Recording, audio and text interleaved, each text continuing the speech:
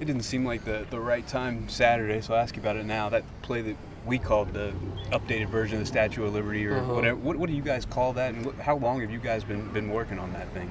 Uh, we just called it statue, and we just put it in that week, that last right? week. Okay. Yeah. Okay. Mhm. Is that fun when they kind of add some of that kind of stuff in when you're going through kind of the monotony of game plan when they when they throw some stuff like that in for you guys?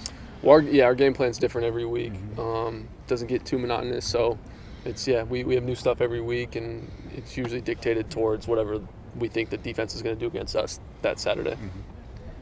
Did you have an idea going into the game that you guys would, would actually use it, or did it take kind of a perfect scenario to, to make it work? Yeah, I knew it was going to be. Uh, I knew I knew it was going to be called before because uh, that was our plan. It was we were going to call it third down and goal um, at a certain point in the game, and I knew right after that second down we missed on the. Uh, I think it was a throw to Vic.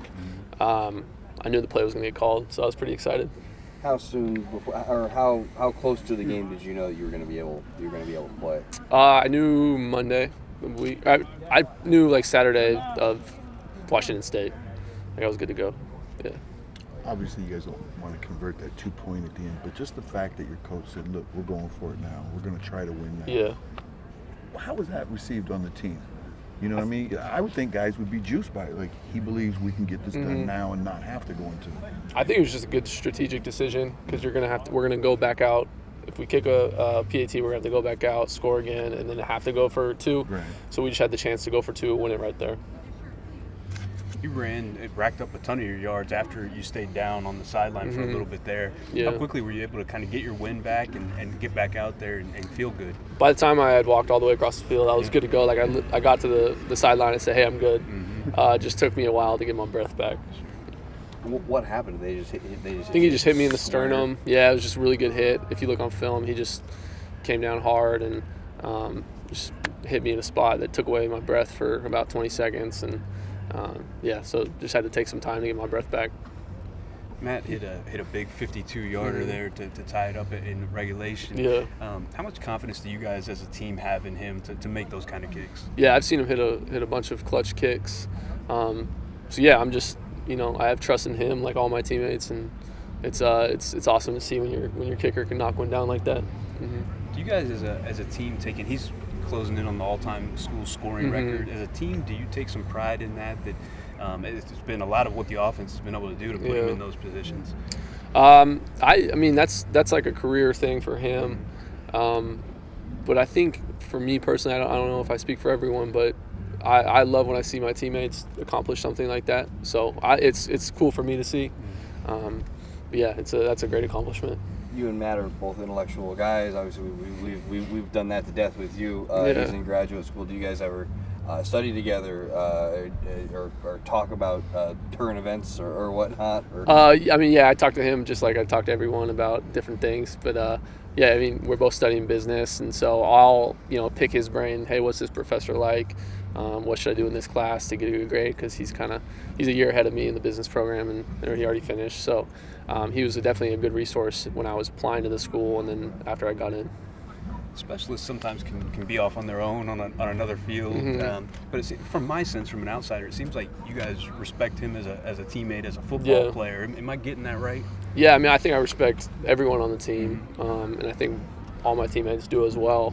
Uh, I, I'm not sure if you guys know this, but like they go through all the conditioning and all the speed training that we do, um, which is you know kind of insane because at the end of the day, they're, he's just kicking, but he's still doing all the all the sprints that I'm doing. So uh, there's a respect level there, and then obviously if you know they're just a good football player, you know they're still football players. Uh, they have you know a specific job that they do, and if they're good at it, you have respect uh, at any level.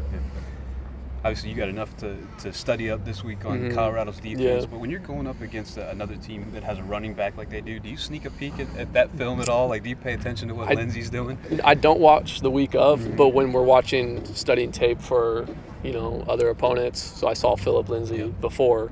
Um, I really liked how he plays. So yeah, number 23. Yeah. He's, he's my old high school number, but uh, yeah, he, Okay. he's he's a really good back, and I think he had like 41 carries a couple weeks ago. So you know any any back that can have that many carries is definitely a, a guy you have to respect. And speaking of uh, having a lot of carries, it was your career high Mhm. uh, the other day. How did you feel after the game? Were you were you still upright? And did you? I feel good. I feel really good today. I was running around full speed. Um, yeah, I'm, What's it like to too go from zero to career high, uh, not playing for a week, and then all right, we're, we're going to ask you to carry it, you know, 30 times a game. What uh, w- w- did, did at any point other than when you got the wind knocked out of you? Did, you, Yeah. did you feel winded at all? No, I didn't. Not at all. Um, I think you know our coaches do a good job of either rotating us during the game, and then also the way we practice, the way we condition over the summer. Um, I never, I never feel tired during the games. You guys haven't haven't won a, a Pac-12 road game in a while. What, what makes traveling in this conference so difficult? Um, you know, I just think every you know every every team in the conference is good. Every, um, but yeah, we don't really pay attention to the whatever streak that people talk about. It's uh, it's a game. You know, it's a week by week thing. Just want to win this game this week, and that's really the main focus. I was going to ask about that because you guys have won some bowl games. You've Mhm. gone to other continents and won. You, you know, you beat UNC in Texas. So it's not like you can't travel. It's just been kind of random almost that it's it's this string of in-conference games. Yeah, I mean, I I don't know much about you know the streaks and all that. Um, I just know this team this year. Uh, we have confidence in ourselves that we're going to go and get a win in Colorado this weekend. Has Coach, Coach Wilcox and his staff done anything different on road trips to change how you guys approach it, or to get you guys there early? I don't know. I don't know what he would do, but Um, nothing different. I mean, you know, whether we're in Berkeley or a different town, um, playing away, we go to a hotel the night before, so it's it's the same routine whether we're home or away, and so there, there's no difference. so, thanks, Pat. Appreciate it. Yeah, thank you.